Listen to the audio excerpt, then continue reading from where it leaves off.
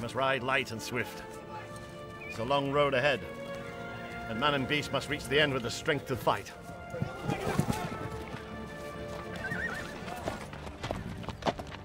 Little hobbits do not belong in war, Master Meriadoc. All my friends have gone to battle. I would be ashamed to be left behind.